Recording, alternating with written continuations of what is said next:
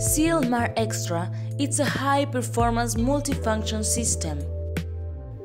It works preventively, avoiding loss of circulation. Provides a viscosifying phase that offers thixotropic mud characteristics, high suspension power, debris transport, and minimal erosion.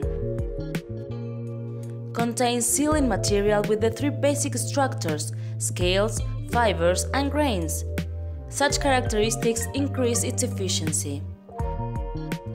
During the drilling process, when the mud circulates, it seals and offers a seal to fractures and fissures, preventing sludge leakage towards the formation.